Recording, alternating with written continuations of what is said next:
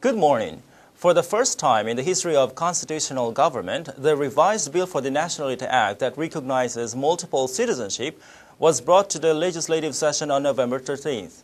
According to the revised Nationality Act by the Ministry of Justice, migrants including marriage migrants and Korean Chinese can have multiple citizenship as long as they do not exercise their foreign nationality in Korea.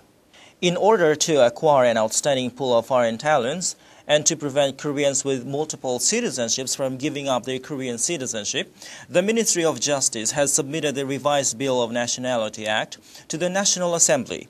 According to the current Nationality Act, those with multiple citizenship who do not choose a nationality before the age of 22 automatically lose their Korean nationality.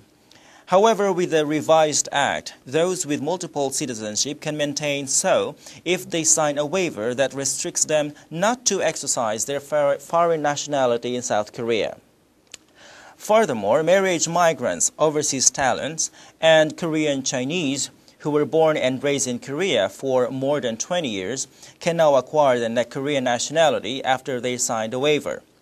Additionally, talented overseas human resources pool who had to reside in Korea for five years to be granted Korean citizenship is now waived of the mandatory residency and can now become a naturalized citizen when they arrive in South Korea.